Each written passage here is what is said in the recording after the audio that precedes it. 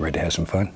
For more than a decade, Bob Ross recorded more than 400 episodes of The Joy of Painting for millions to enjoy. Hello, I'm Bob Ross. I'd like to welcome you to the joy of painting. And now millions more can become fans because every episode is available on Tubi to stream for free. But before you start your binge watching session, we asked Joan Kowalski, the president of Bob Ross Inc., to give us some of the best Bob Ross wisdom. Painting's fun. Everybody loves Bob Ross. Ooh, there's a nice one. And I'm just going to grab this and lift it upward.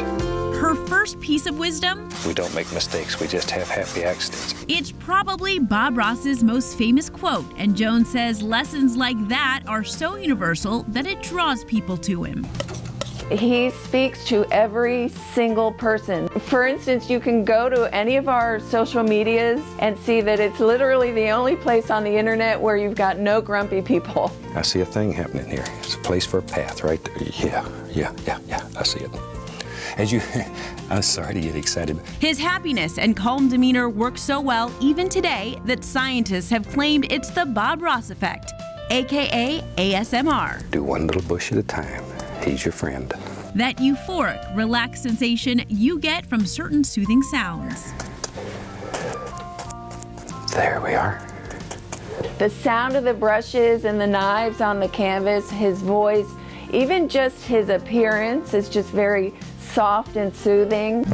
And the next piece of Bob's insight? Anything that you want, you can build here. This is your world. Joan says that people all over have gained confidence learning from Bob, including her. I have gained a lot of confidence just from watching him.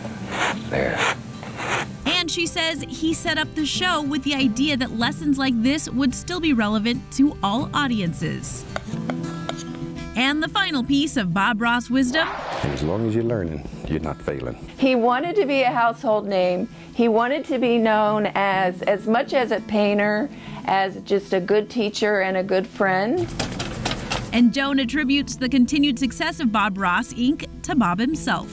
You know, I wish I could tell you that we had a really smart marketing team that decided to try and launch Bob again in this way. It's just Bob. Bob reinventing himself over and over again. And that's why all these years later, his wisdom still carries true today. You ready for your bravery test? Okay, here it comes.